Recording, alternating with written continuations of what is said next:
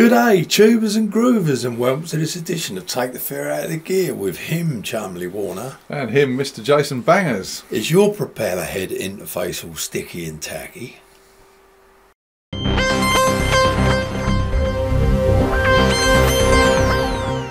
Problem we find now, Simon, with a lot of old but modern equipment, if you like, Yeah, is the stuff they put on it.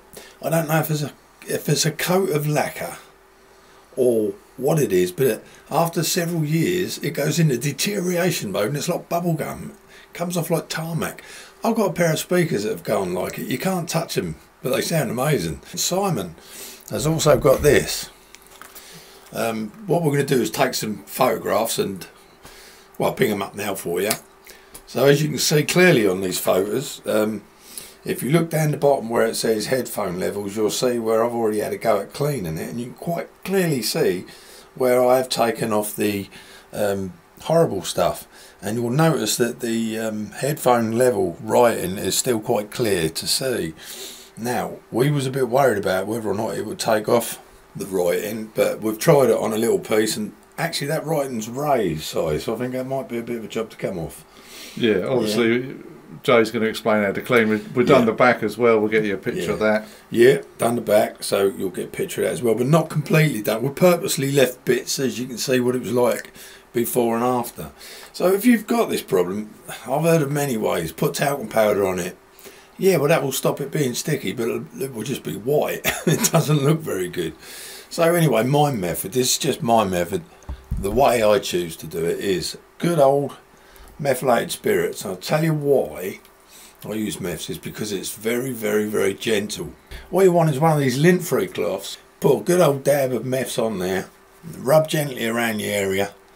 Do a little piece at a time because you'll never do the whole thing in one go. You just won't because you get such a build-up of this horrible black rubbery stuff that it will just it'll end up all over the place. So you've got to do it very slowly, piece by piece. So yeah. Yeah, and I suppose if, like with this, like this, with this interface, as Jay said, this Propellerheads interface, do do a bit on the side first where there's no writing. Just have or Yeah. a piece on the back. Try a test piece. A safety test. Yeah.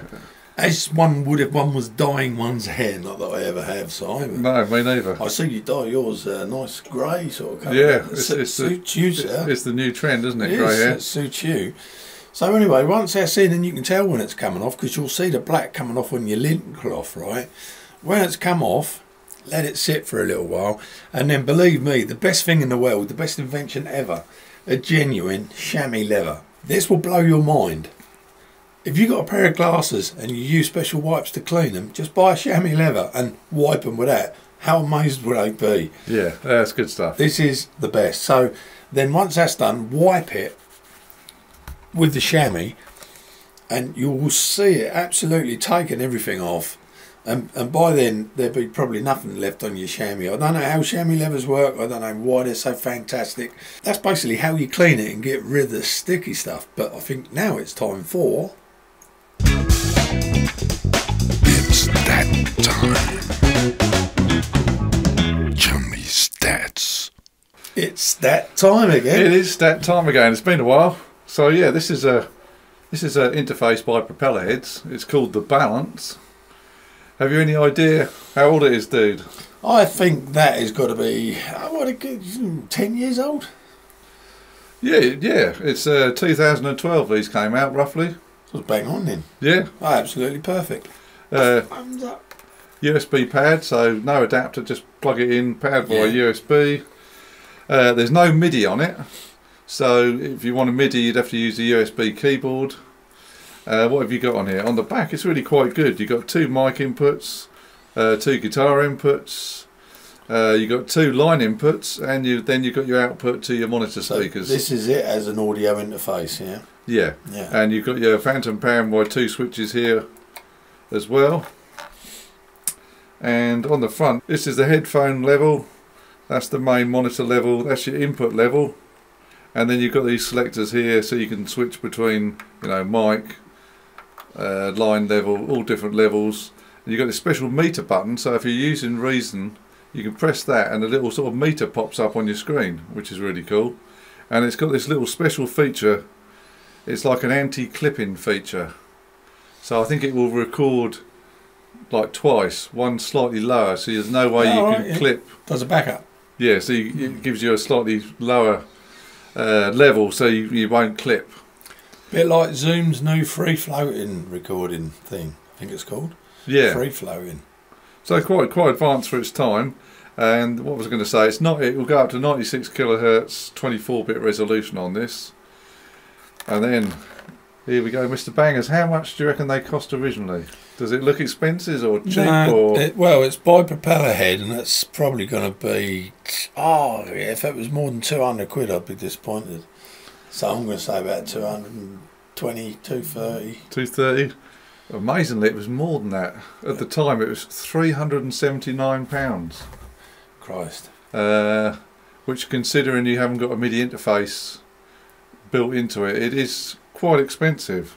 Which is considerably well made. I mean, it's plastic, isn't it? It's not metal. There, that's definitely plastic. Yeah, but it's heavy. I mean, there's something in there that's quite heavy. Yeah, it's, it's a nice functional thing. Obviously, Yeah. as we said earlier, they can go sticky. And with that in mind, does anybody know why they go sticky? Is it a, is it a lacquer covering or something? Uh, If anyone knows, please let us know in the box because we don't really know what it is. And one thing I forgot to say, which I just remembered, Ah, good. How much do you think you can buy one for now, 10 Oh. years later? Good grief. I, I, I should say you, you've got to be able to pick them up for 70 quid, haven't you? 70, 80 pound? This one was £20 plus postage. Oh, Obviously, uh, I perfectly working. Yeah, it works perfectly. yeah. Obviously, because of the finish was deteriorating, maybe that's why it went so cheap. So I wonder if there's any out there now that haven't got that problem. Maybe it's uh, maybe it's a thing that happens if it's in the sun or something. I don't know if It it's could left be. in the sun. There is another one on eBay at the moment, which we see if we can buy it. So it's it's, it's uh, ending later today. If we can buy it, apparently it hasn't got this problem. So I'd be interested to com- compare the two. But you, you could, you, like Jay says, less than hundred. If it's got the finish problem, it's going to be a real bargain. So let me understand this correctly, right? It's an audio interface, so we can go into our computer, record straight into our DAWs using that, right? But Yeah. can we use that as a controller on Reason to control the transports or anything? No, Play, stop, or no, No, no. no. It's literally just it's just an input yeah, system. Yeah. guitar line, Okay. mic. Just one more thing, quickly. Just, just one more thing. Uh, one thing. It's Because we ain't used Columbo in ages, so No. It just suddenly dawned on me. The software, yeah, we're talking about operating systems. Uh, it will work, as far as I know, sort of perfectly on Windows 7, 8, 8.1. It will work on Windows 10, but people have said it's a bit glitchy and they've had problems with it. So if you're thinking of picking one of these, one of these up and using Windows 10, maybe do a little bit of research beforehand. That was it. That's that's what. I forgot to Yeah, that's a good point. Anyway, we hope you enjoyed the episode to take the fear out of gear with him, Chumley Warner. And him, Mr. Jason Bangers. Don't forget to hit the like. Subscribe. and Please cling the bell so we can let you know what's happening without letting you know. We really appreciate your subscribers. Bless your heart. We'll see you again. All the best.